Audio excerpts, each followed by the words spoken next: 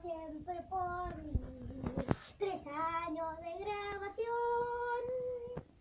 y se fue al, al pelón.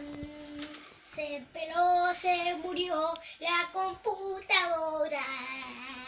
Le decimos adiós a la computadora. La PC está muerta. Hay que revivirla. En directo.